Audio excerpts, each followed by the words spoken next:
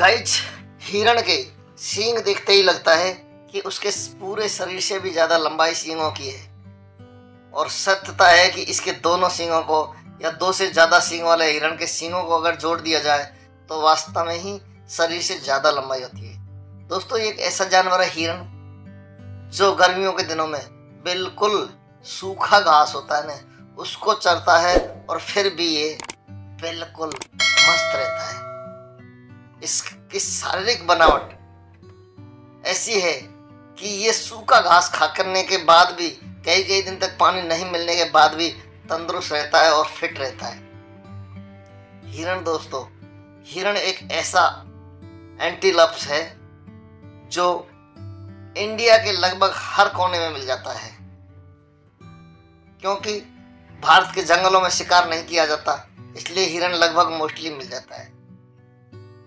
अब आपके सामने एक रेंडियर है। होने को तो ये ऐसा हिरण है, जो बर्फों में बरसाती मौसम में ज़्यादा रहना पसंद करता है, लेकिन क्या कर सकते हैं? ये बेचारा एक बाड़े में बंद है, और इसकी स्थिति ज़्यादा अच्छी नहीं है। ये अपने सींगों को इधर उधर पेड़ों से मार मार कर, क्योंकि इसके जो सींग है, ये जो बारह सिंगा हम इसको बोलते हैं, इसके सींगों में ब्लड होता है।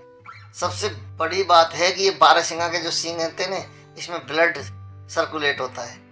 जबकि ये सींग है जो सिंगल हॉर्न होते हैं इन डियर्स के। आप देख सकते हो, थोड़ा जूम करके दिखाता हूँ। इनके ब्लड नहीं होता। लगभग इसका 80 परसेंट हिस्सा, इसके सींग का जो 80 परसेंट हिस्सा है ना, उसको हम काट सकते हैं, उसमें कोई ब्लड नहीं आता।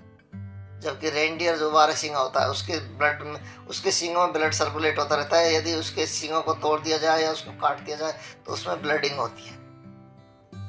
अब यहाँ देख सकते हो दोस्तों, बिल्कुल सूखा घास खा रहे हैं, बिल्कुल भी। ऐसा घास है यहाँ।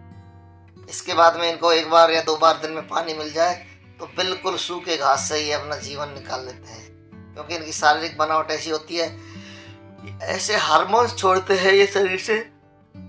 जिससे ये पूरा का पूरा सूखा घास है, जो इसका पौष्टिक आहार बन जाता है।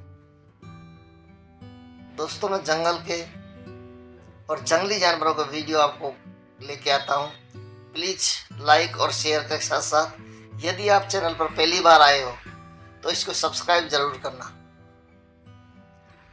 दोस्तों, अगला वीडियो लेके आऊँगा मैं, आपको फिर नील गाएगा। धन्यवाद।